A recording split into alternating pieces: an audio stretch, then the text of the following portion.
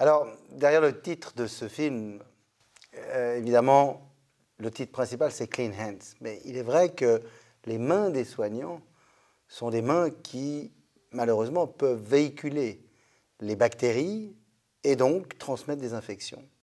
Donc ce sont des mains qui parfois soignent et qui parfois, malheureusement, peuvent aussi faire des dégâts. Et parmi ces dégâts, tuer. Et donc le film Clean Hands résume, au fond, tout ce qui tourne autour des mains des soignants, qui peuvent tellement bien soigner, mais aussi en tellement bien soignant, si on oublie certaines bonnes pratiques, malheureusement entraîner des dégâts aux patients.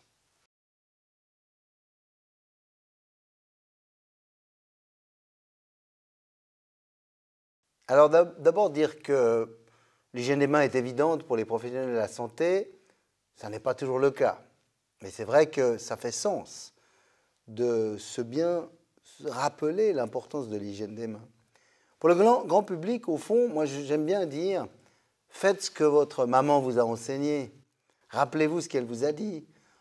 Finalement, lave-toi les mains avant de venir à table. Lave-toi les mains après t'être mouché, après peut-être t'être touché le nez, après t'être touché certaines parties du corps. Et bien entendu, lorsque tes mains sont sales. Je pense qu'il faut être simple avec le public. Et je pense que c'est là, au fond, la clé du succès. Mais il est vrai que de mieux apprendre à reconnaître que les mains ont besoin d'être lavées ou frictionnées parfois euh, dans la vie de tous les jours, c'est important.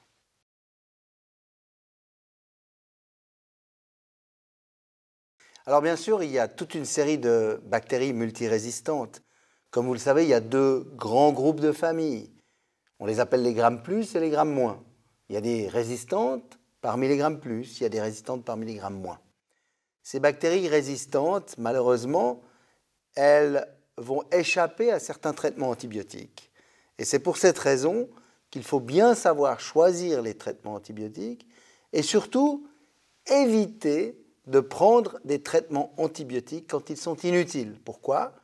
Parce que la grande problématique de la résistance des antibiotiques ou la résistance des bactéries aux antibiotiques, c'est avant tout que lorsque la bactérie est exposée aux antibiotiques, elle développe sa résistance. Il faut savoir que la bactérie, elle fait comme vous et moi.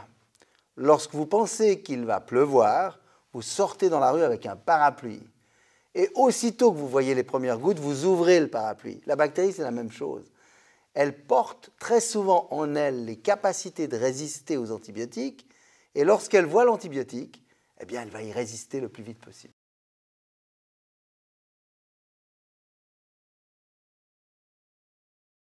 La question est de savoir comment lutter contre les bactéries multirésistantes. Alors d'abord, il faut éviter qu'elles deviennent résistantes. Pour éviter qu'elles deviennent résistantes, comme on l'a déjà dit, il faut éviter d'abuser des antibiotiques.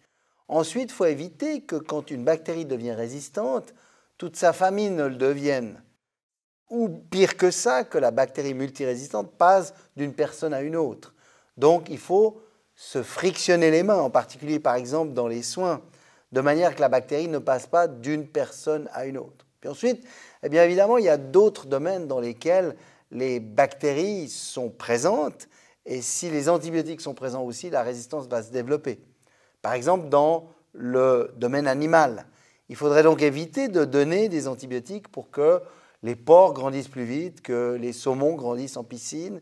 Et donc, il faudrait contrôler la meilleure utilisation des antibiotiques, que ce soit dans le monde animal que dans l'environnement. Et ça, ce sont des problématiques extrêmement importantes. Enfin, finalement, il faut développer des tests stratégiques pour pouvoir finalement reconnaître quand il faut utiliser les antibiotiques à bon escient et quand il faut ne pas les utiliser. Et puis développer peut-être des nouvelles familles d'antibiotiques qu'il faut réserver à certains usages chez l'homme et dans certaines circonstances.